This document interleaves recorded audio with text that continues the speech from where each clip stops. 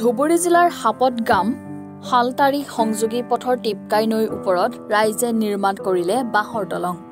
বিগত সময়ত যাতায়াতৰ ক্ষেত্ৰত জমৰ যাতনা ভুগি অহা অঞ্চলবাসী ৰাইজে কাঠিৰ ধন ভাঙি নিজ শ্ৰমদানেৰে নিৰ্মাণ কৰিলে এখন বাঁহৰ দলং।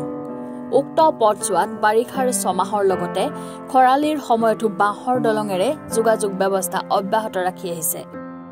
শেহতীয়াকৈ পূৰ্বৰ দলংখনেও জৰাজীৰ্ণ ৰূপ ধাৰণ কৰি যোগাযোগৰ অনুপযোগী হৈ পৰিছে। সেয়েহে অঞ্চলবাসী ৰাইজে গাঁঠিৰ ধন ভাঙি নৈখনৰ ওপৰত এখন বাঁহৰ দলং সাজি যোগাযোগৰ ব্যৱস্থা কৰে।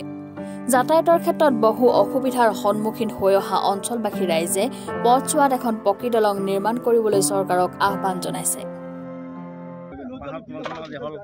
ৰাইজৰ অলপ সুবিধা হ'ল। ইমান দিন কৰি দলং নাই। নাৱেৰে তেওঁলোকে নাৱেৰে পাৰ হ'ব লাগে।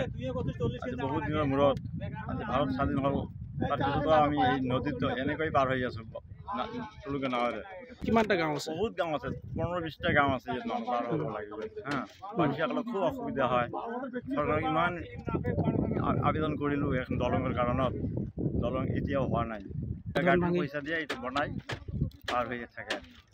পইচা ইকালততো আমি নাৱেৰে পাৰ হ'ব লাগে। এইটো শালদাৰী টিপকাই নৈ বুলি কয়। হা? এইটো নৈ আমি বহুত বছৰৰ পৰ মানে দলং এখন বনাই আছোঁ। বাছৰ দলং।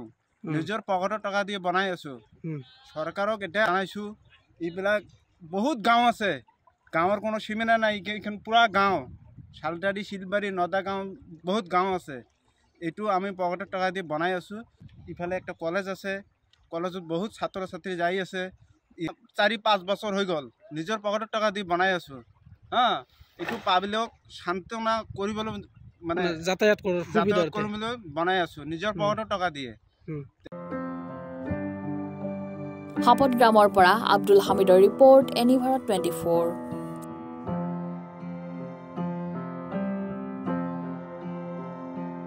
অভিনয় কৰাৰ হেঁপাহ আপুনিও পঢ়ি ৰাখিছে নেকি? আপোনাৰ অভিনয় কৰাৰ অভিজ্ঞতা নাই? কোনো কথা নাই। আপোনাৰ বাবে আহিছে সোণালী সুযোগ ঊনত্ৰিশ ছেপ্টেম্বৰত দিনৰ ন বজাৰ পৰা নিশা আঠ বজালৈ বলিউড তথা হলিউডৰ চিনেমাৰ বাবে অডিশ্যন হ'বলৈ গৈ আছে গুৱাহাটীৰ কাহিলীপাৰাস্থিত জ্যোতি চিত্ৰবনত পাঁচ বছৰ বয়সৰ পৰা সত্তৰ বছৰ ব্যক্তিয়ে কৰিব পাৰিব অংশগ্ৰহণ। পঞ্জীয়ন হ'ব বিনামূলীয়া। নিৰ্দিষ্ট ৱেবছাইটত কৰিব পাৰিব আবেদন।